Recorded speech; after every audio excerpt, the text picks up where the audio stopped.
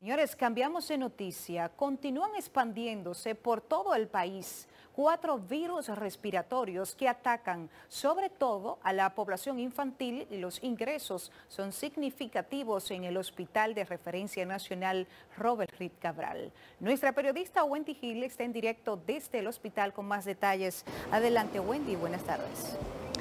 Sí, muchísimas gracias y muy buenas tardes. Debido a las temperaturas que se están registrando en las últimas semanas, pues se han incrementado los procesos gripales en todos los confines del territorio nacional, a lo que muchos llaman gripecita o gripe mala cuando tienen síntomas más fuertes. Y tiene que tomar medidas porque hay demasiados virus de composiciones. Lo cierto es que son cuatro los que compiten por cuál ataca más. Estamos hablando de la influenza, la gripe común, el COVID-19 y sincitial, que atacan a grandes y a chicos. Pueden tener diarrea, pueden tener vómito y eso lo lleva a que se deshidraten.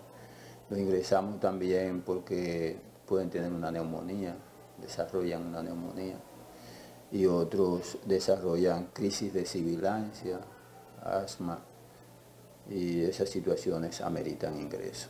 Es por la alta demanda, las emergencias que el director del centro asistencial, Robert Reed Cabral, está pidiendo a la población tomar precauciones sobre todo ya que este miércoles inicia el invierno cuando las temperaturas estarán más favorables a los virus respiratorios. Les recomendamos a la población que mantener el distanciamiento eh, a, los niños, tratar de no llevar las actividades grupales, eh, grupales, sobre todo en este momento en que tenemos ese gran brote en la República Dominicana, y eh, vacunarlos y usar mascarilla cuando haya la necesidad. Los cambios de temperatura te dan todo eso, nosotros, más por lo menos los adultos como yo, tenemos que cuidarnos.